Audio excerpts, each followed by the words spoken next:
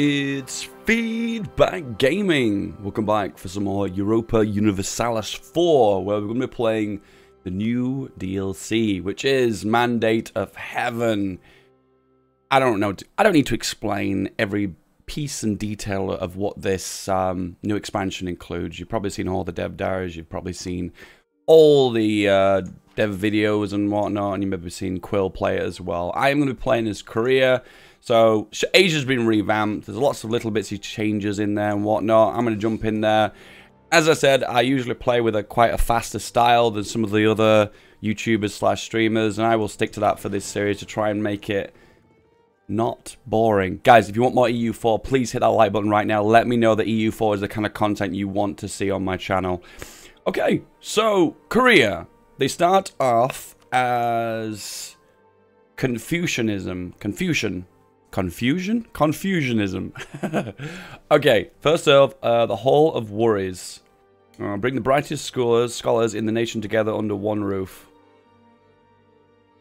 And this will lose 50 ducats, lose 30 admin, but we gain prestige forever until the end of the game. I can't say no to that. I, that's really good.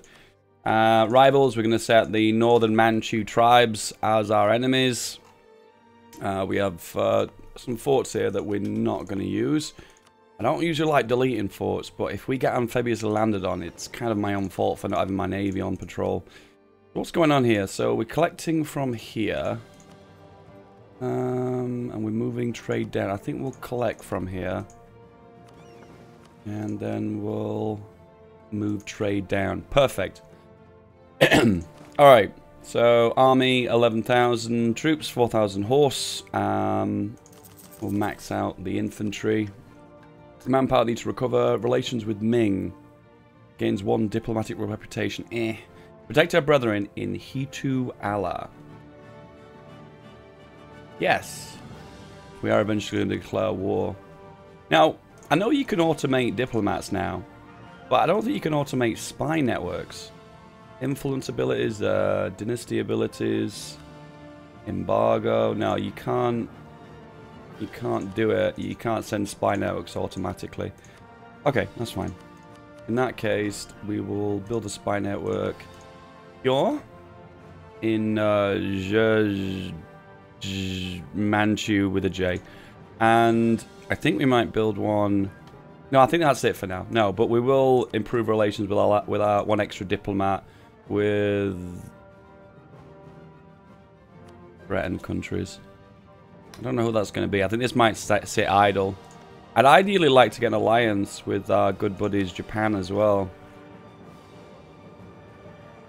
Can we do that? I realise the music's a little bit loud. There we go. Explosive musics from uh, EU4. I've been meaning to download the music packs for this um, game. Does anyone know if they're worth it? Let me know in the comments. So when it comes down to our ruler, is actually pretty good. King Du Yi um, his heir is not as good. So the heir is going to be a general. And he's okay. Actually, 2, 2, 0, 2, 0, 1 is okay because we got the siege. And I guess a bit of shock's pretty good early game as well. Uh, we are going to try and invade these Manchus and gobble them up. Because if we don't, Ming's going to eat them. And I, I want to get as much as we can from Ming. So Ming is our tributary. Tributor? Tribu tributary. And every uh, every year they ask something from us. Either it's going to be some kind of monarch points or money or or what they want, and if we say no, we lose trust. Uh, like he wants four ducats, we'll accept that. The good deal with this is that we get a free alliance, basically. It's like a defensive Holy Roman Empire. And then again, that's what the Holy Roman Empire is, isn't it? So the good news is now if you play in... I feel like the, the, the way people used to play Korea before was they'd always like try and... Um, ooh, discipline. That's very good. Incorruptible and tolerant as well. Damn. Uh, yeah, the way people used to play Korea before is they'd always try and ally with Ming because if you want to, if you're gonna get bullied by Ming, the game's pretty much already over anyway. I think we're gonna boost relations with you. Oh, it'll ally me now. Okay, cool. So I can't ally with any of the others, I don't think. No, because they're Daimyos. Dominoes, Daimyos, Domino's Pizza. So yeah, so we're allied with him, and these are Shogun. So I'm hoping there's going to be some kind of war inside of Japan, and what will happen is I'll get sucked into it and I'll try and grab some of the Japan here. And also give me a, a royal marriage, which is cool.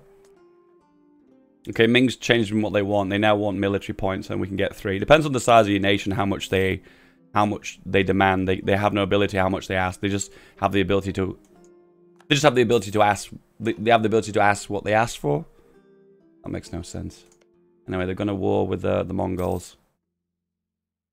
so what Ming tries to do is tributaries with all its bordering nations. If it doesn't have one bordering it, it loses some of its mandate which it needs to keep nice and open. I guess it's declared war on the Mongols because they can't get them as a tributary because they probably hate them. Probably. Drop the forts. Move our army to Pyongyang. Not sure if I'm saying that right. I've turned on dynamic province names. People keep complaining in the comments that I don't do that, so I've done it this time. Um, we're building a spy network. 25 is what we need, and we're at 24 now. They are a rival, so that's good. Okay, so what are we going to do for this campaign? What are the goals? So the goals are to try and make an economically an economically powerful Korea through trade, through development, not necessarily through conquest, but there will be some conquest as well, because otherwise there's going to be no wars. It's going to be pretty fucking boring. So we are going to try and go for colonies first. Maybe try and grab this center of trade. Maybe grab Taiwan, maybe. Discover the new world. What I'm trying to aim for, this is the goal, guys. I'm going to try and aim for these mission objectives. That's what I'm going to try and do. Um, I'm just going to let the game almost steer me in the direction it wants me to go. So let's go through some of these. So discover America, I think we can do that. If we discover Alaska by moving our explorer east, I think we can do that one. Control five centers of trade. That's going to be tricky. Um, I don't even think there's that, that many around us. There's one here. We've got one here. One here. There's one up here, isn't there? I thought there was. No. Yeah, and then there's one down here too. I don't know. That's that's pushing it. We might manage that right at the end of the um, Age of Discovery, but I don't think that's going to be happening. Large city. We don't have one, but we have an ability to develop some farmland provinces. So that's that's a yes. That one. We'll definitely get that one done. Um, embrace the Renaissance. I don't think we're going to manage that. Um, I don't want to embrace the Renaissance as well because it'll mean that all my neighbors get to benefit from it as well. That's a good point. Is, is it worth the trade-off for going for Renaissance early? So, I don't know. I'm not sure about that one. Because at the end of the day, we're going to have to spend a lot of development boosting a province to try and get the... I don't, I think, I don't think it's worth it. Uh, feudal society, gain five different vassals. That is so hard. I don't think that's going to happen. Presence on two continents. That We might do that if we find Alaska. But then again, the trade range is a bit far, so maybe not. Humiliate a rival. That is happening. That is happening. When I get an opportunity to do that, I will take it. I will take it. That will happen. Okay, so we've got a decent-sized navy. We don't start off too bad with development either. When it comes down to it, we've got 130 development, which isn't too far off from Castile. New business opportunities. Ever since that we've been sending sending our tributes to Ming, the demand for the exotic goods of our artisans have been rather high in Beijing. So, improve relations, make them less disloyal, gain corruption, gain money. Oh, I'm not doing that. No way. I'll skim over some of the new events, so just get the gist of what they mean and what they're doing. And, uh, yeah. I can't go for corruption at this stage of the game. It's way too early. I'm going to try and root out corruption because I detest corruption. I've made that mistake before too many times. Okay, so... Yeah. When it comes down to Korea, actual Korean, Korean, Korean Korean as in the culture. We do control all of it, which funnily enough is a thing that we'll need for one of the other ages, but we'll come to that anyway when we arrive on it. Alright, so that's good. So we're going to boost our ages now. Let's have a look. Is there a development here? Yeah, I think we're going to try and declare war on these guys as soon as we can. Oh, and they're at war right now. Oh, this is the perfect opportunity. Development 15, development 15. We'll go for the capital because that's really humiliating, right? Um, boost up the maintenance. We'll also boost up our navy too. We'll stick them here. Um, I feel like I want to ask the aristocrats for a general. Is they going to give us a god? If we can get a 2-2, that would make me a very happy man. Oh, what do you know? Hey! Well, what do you know? Alright, maintain that. Move that down.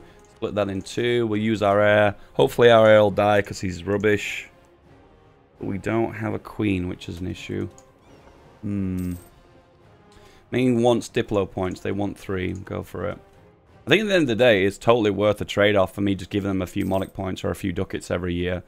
Just for the fact that I get this overwhelming protection. I wonder what's going to happen if I choose to kind of upset them at some point. I imagine... Helped us with smugglers. Oh, ah, it was an event. Okay. I, I, a moment I realised that a royal marriage would be useful to get a queen. And there we go. Oh, Ming's at war. Ah, oh, no, that's not good. Uh, okay. Ah, shit, we really want that province. If we don't get it, going to be a bit of a pain.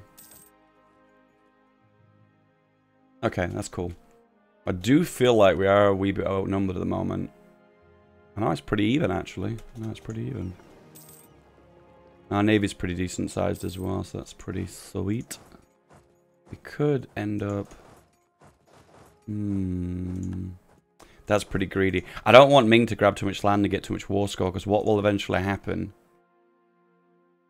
is they'll end up grabbing this province, and I need that for the mission, so I'd prefer that not to happen. I guess this is a good opportunity, because at least they're distracted with Ming Arinos. Oh, I can't even attach this, because this is not even attached to the coast, so I don't get the bonus. Ah, shit. Is this new artwork? I think it is, isn't it? The way this works is, I feel like everyone's explained this a thousand times, but you gain one Splendor per month, and if you do any of these missions and complete them, you get an extra two Splendor on top. So if you do this one, you'll get three. And if you complete this one and this one, you'll get five Splendor. And then when you get 800, you can go for one of these rewards that last for the full age. And this one, uh, where is it? This one's pretty good. War taxes, free war taxes. Oh, yeah. And there's also another one that boosts colonies as well, which is also pretty Pretty sweet. Production increase, inflation reduction, buy networks. Nah, none of these really appeal to me. Oh yeah, as well. The um, another thing changes as well is Confucianism's uh, been modified as well. You now have an ability. You gain harmony per month, which a maximum 100. Where you gain tolerance to the truth faith plus one. Uh, if you go the other way, you get really bad shit. Uh, the only way you can go the other way is if you harmonize too early. So what happens is you can you can make other religions uh, kind of the same level that you are. Yeah, so I guess the, the game usually works is if you've got heathen or heretic, they suffer from a penalty. Oh, shit. That's not good. No, stay there, stay there. Yeah, heathen or heretic suffers from a penalty for less manpower, less tax, etc., etc. Um, oh, wonder what's going to happen here. They got a general, 1-0. I think we can win this, but we might lose a few ships, which is a bit of a pain. Oh man, this is nasty because they're going to get a nice war score. Go here. Yeah, so just to summarize, I feel like I've started mid-sentence. So every religion that's under your banner that's not your own religion suffers from penalties. And what the harmonizing does is it makes them that every religion's got the same benefits and buffs and whatnot. So that would technically make heathens and heretics on the same level as your religion. Apart from the plus one tolerance to the true faith, if you max out your harmony, that's the one exception. And yes, if you harmonize other religions, you also gain buffs as well. So currently we've harmonized Buddhism, which reduces idea cost by minus 7%, which is really cool. Which is weird, because we don't actually have any Buddhism, so I don't know, even know how that's happened. But anyway, the more you harmonize, the better, because the more buffs you get. So you technically like, uh, like synergizing lots of different religion buffs into one, which is pretty damn sweet. I don't know how much it costs actually, but you lose harmony when you're every, when you're synchronizing other religions. And we've looted this fully anyway. Uh, can they peace out now, please? Oh, they fully, they've fully, they've fully occupied them and they've not pieced out. Oh, there we go. We've lost that because Ming's taking it like an ass. Uh, all right. Have they got any forts? I don't think they've got any forts, and I don't even think no, they've not got any forts. Let them arrive. Boom. Boom. Go here.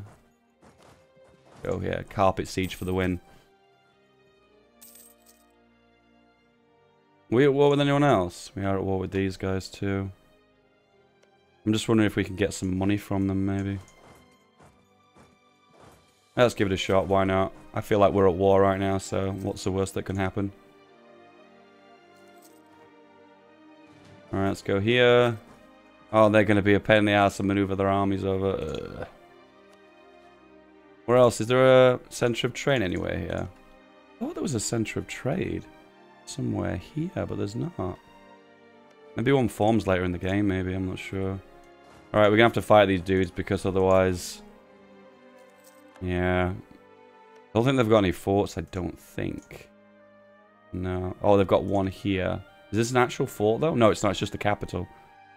Are you seriously running away? Alright, we're going to have to get movement access through you, because otherwise you're just going to be a pain in my butthole. Wrecked. The delicious 5-speed, guys. You, you, you, I get so many comments about me playing a 5-speed on EU4. You guys love it, right? the, the negative comments are crazy. I don't know, I just prefer to play this game nice and fast. I guess I'm like... I guess I'm like HoI 4, by the way. I, I haven't slept much last night and I, I kind of went out drinking, so I realize my voice just kind of breaks every now and then. I'm going through puberty. Uh, adds 10 trust from Korea for Ming. Lose some money or lose relations with Ming. No. no. um, I realize we're not up to date with military either. Are they the same tech? Uh, oh, they're at war too. Oh, hello. They're at war with uh, Hang, Hang, Hang, Manchu with a H. Go here and we'll like occupy all of this. Plus gain plus 10% harmony. Noble family with a strong heir. 222 is pretty actually poop actually. Lose harmony, gain. Oh god, that's so good. Can't say no to that. Harmony doesn't give you that much, to be honest with you. I think the biggest buff, the biggest strength of the uh, Confucian religion is the boost of is the ability to harmonize religions and gain their buffs. It kind of gives you an incentive to kind of attack nations that are different religions than your own. Uh, conquer Ukan? H-U... I don't know why, but I really struggle to re read that font. Oh, you want to conquer this one? Sure. I don't, I don't think the objectives are very good, though, is it? It's just autonomy. Oh, no, attrition. Oh, God, that's so bad. That is actually worse than the autonomy reduction. This is going to be a little bit tricky. Alright. Are we going to arrive there in time? Doesn't look like it. Oh, just managed to scrape that back. Casualties are pretty high though, and we're at no manpower, so we've we've kind of overstayed our welcome now. So gain tax, lose legitimacy, upset the merchants. Oh no, that's fine. I don't really take legitimacy very seriously, you know. Just gain quite a few extra cool things. Maximum absolutionism.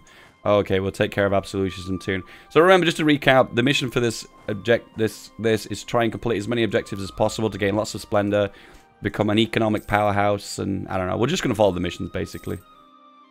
There we go. All right, can we ask for something from you now? Oh, we can humiliate them. Oh shit, and that's one of our missions.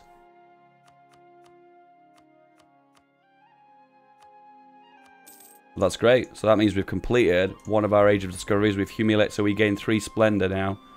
A month, which will change in a moment, probably. Hopefully. Please change. Alright. Um, cancel. They've gained this province here. I guess we should build a spy network against you now as well. Alright, great. Um, we haven't got a, a dude to send. Alright, perfect. I don't know why we are sending a spy whilst we're at war. Alright, we can't get all of it. I don't think we want all of it, to be honest with you. I think maybe that would be pretty cool. But that is greed at its maximum amount. This could cause a coalition against two Manchu nations. I don't give a crap. Stay mad, bro. Stay mad. Alright, I think we're going to hire an admin guy. I think we're going to go for the inflation dude because I just love the inflation reduction. It's just something that can tick in the background you just completely forget about and I really enjoy that mechanic. Alright, drop that down. Uh, we're going to build cores. That is a bit of a pain because I realize our admin's going to drop behind. So I'll ask for some admin support from the clergy. I'm going to mothball you. Um, keep an eye on the rebels though. I think it might be better Damn, they're so pissed. Stay, stay mad, bro. Stay mad. So, devastation is a new thing. So it's, it's principally a, a negative attribute for territories that are at war or have been looted, etc. Like for instance here, hang on, there we go, 18% devastation. Look at the negative effects. Pretty spooky that, isn't it? Um, and the opposite is prosperity. You get that from maxing out the prosperity bar. And I realized my prosperity is not going up. I think the reason why it's not going up is because either because I was at war or that I've not got positive stability. I think I might gamble on an extra point of stability there. This is nasty because this is actually tanking my admin point. So I think we're going to focus on admin. Okay, I can no longer rival you. The bonus is we are getting more Splendor. I wonder what the sweet spot is for Splendor. Like, how, how many of these missions do I have to fulfill to kind of achieve that optimal amount? I imagine that's going to be min-maxed at some point. So let's just cover this. So we are going to accumulate. We might get this one. That's not likely. That's not likely. This is definite. Not likely. And that one's a definite. So we'll get at least four. One, two, three, four. Yeah. I wonder how many of these we can unlock. Yeah, I wonder how many of those we can unlock before... Okay, reduce overextension. Uh, do I care about that? Protect our brethren enduring. Oh shit, can we go for... Oh, we can't go to war though. We definitely can't go to war because it's just too soon. Oh man, they're going to become quite strong as well. Brethren gives autonomy reduction, which is just pretty awful anyway. We'll go for the overextension reduction. Okay, so we do have the ability to harmonize now, so let's just check that out. We can harmonize the pagan religion. The only problem is when you dip below 50 harmony, you get those penalties, so losing legitimacy, true faith, and uh, cost for development. Which, in all honesty, do I even care too much about that? Nah, fuck it. So if we do choose, it'll take... Oh god, it'll take a very long time to harmonize. Wow. Oh, let's do it. Let's gamble. So if we do successfully harmonize them, we everything gains 0.5 uh, re revolt risk, which is pretty sweet. I feel like we are doing this a little bit early and we are getting punished for it, but in all honesty, I'm not going to be boosting development. Oh, then again, maybe I will be. Because we are going to boost development at some point, aren't we? Ah, no, I have just realised we need to do that. Fuck. Because development cost is going to be a pain in the ass if we can't boost a city. So what cities have we got? So we need farmlands. These are plains. Capital is pretty good. Doesn't capital get an extra buff to reduction for development because it's a capital? Yeah, 9%. Well, this one's a good one too. This one is a center of trade as well, so that gets an extra buff. The buff is 5%, so the capital still is the best choice. Hmm. But we are aiming for the 20 cities, so it will. It's on my to-do list. We will do it, and we'll probably do these. Uh, I, think I pronounced this wrong. Edicts? Is it edicts? We'll probably go for the one that reduces development. Yeah. Alright. They're mad. They're super, super mad.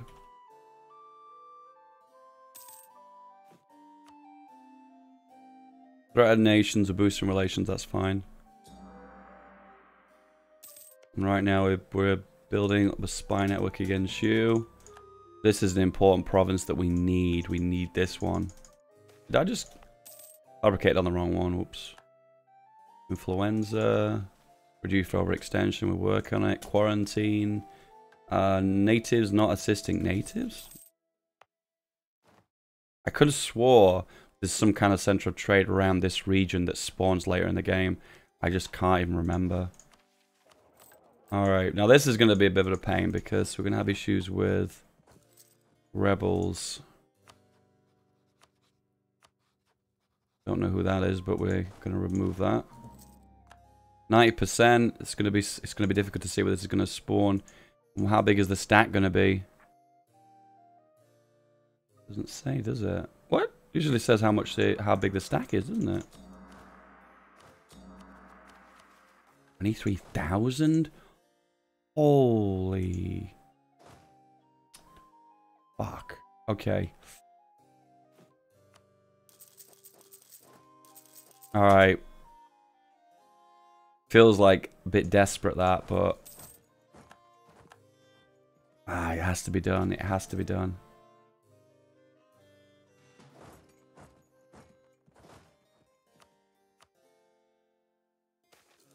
I didn't realize we took a loan. Oh shit, we did, yeah.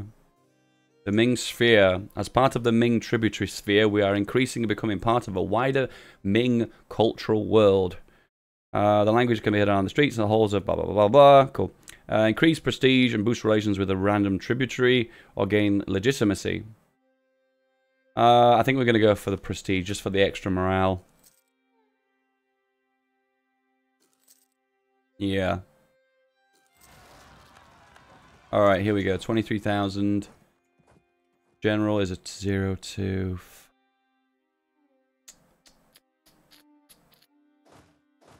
This isn't going to be enough. We're going to get fucked.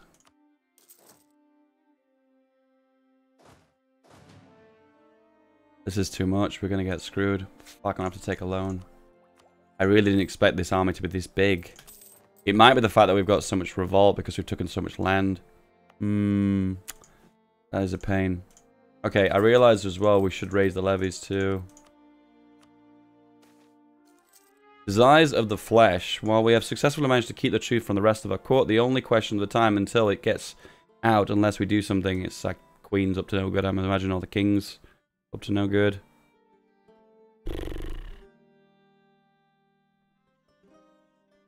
Lose prestige, gain revolt.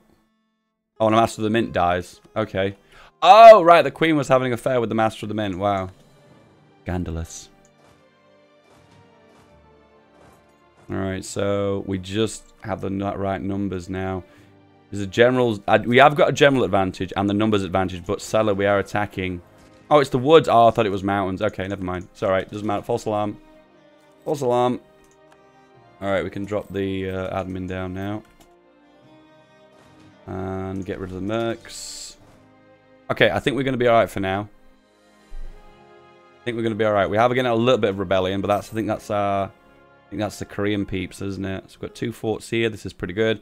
Means they can't get down into like central South Korea area, which is good.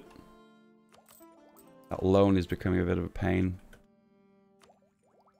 Um, the admin, yes, we need the admin because we need to get that next idea group. We need to get the colonists ASAP. Making money now, which is good. Could probably do with making some ships as well. thinking to myself, would that loan be a priority there or expanding what I've already got? The loan's only taking half a ducat offers. Mm. Oh, we've got shit, got two loans. Oh, Christ, okay. Priorities, people. Alright, well, they've expanded, haven't they? Okay, is there any extra fabrications we can get? Yeah. So we're going to go to war with this guy. The best thing to do is take one, two, three provinces here, because then it blocks Ming from expanding and pushing into this region.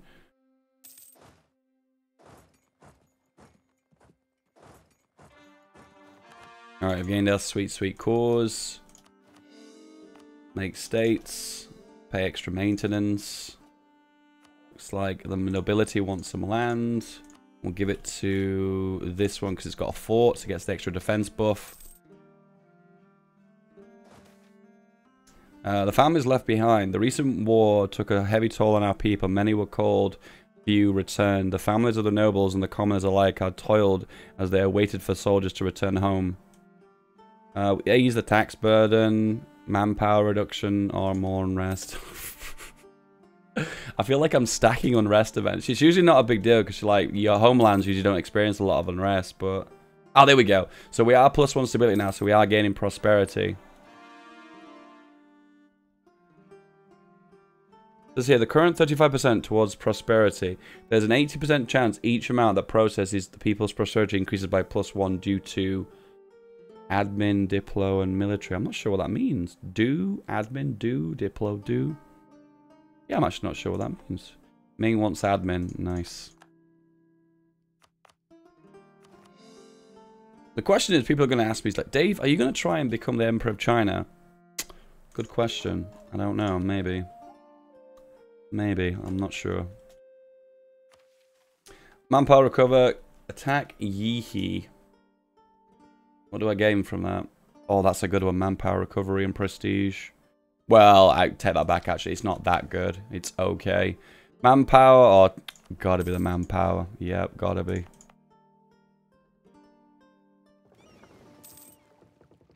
We definitely collecting from the right one here. Yep.